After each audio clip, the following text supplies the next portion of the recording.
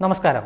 മാതാപിതാക്കളാലും മറ്റു മുതിർന്നവരാലും വിഷം തലച്ചോറിൽ കുത്തിവെക്കപ്പെട്ട് അത് പൊതുവിടത്തിൽ വിളിച്ചു പറഞ്ഞ ഒരു തലതെറിച്ച ചെറിയ ചെക്കൻ കാരണം ഓൾ ഇന്ത്യ ലെവലിൽ തന്നെ ചൂടാപ്പികൾ ഏറിൽ നിൽക്കുന്ന സമയമാണ്.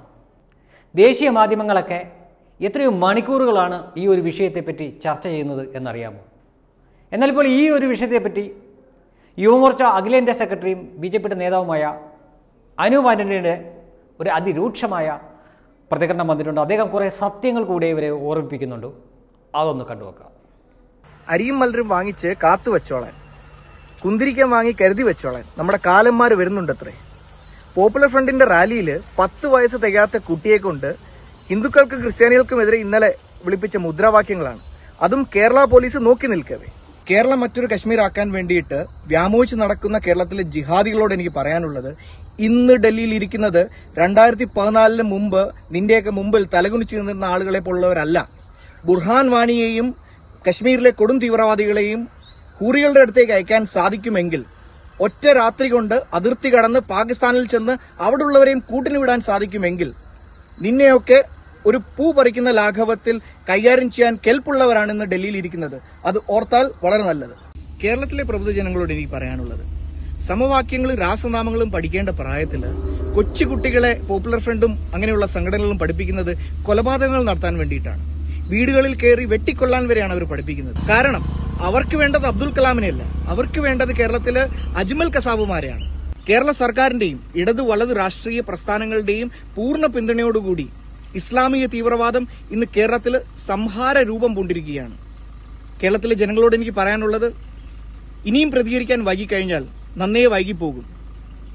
കേരളം മറ്റൊരു കശ്മീരാക്കാൻ നമുക്ക് കശ്മീരി പണ്ഡിറ്റുകളുടെ അവസ്ഥ ഉണ്ടാവാതിരിക്കാൻ വേണ്ടിയിട്ട് നമ്മൾ സ്വയം കരുതണം. അതുകൊണ്ട് പ്രതികരിക്കാനുള്ള സമയമാണ് പ്രതികരിക്കുക. കേട്ടല്ലോ മലയാളി സുഡാപ്പികൾക്കൊരു കുഴപ്പമുണ്ട്.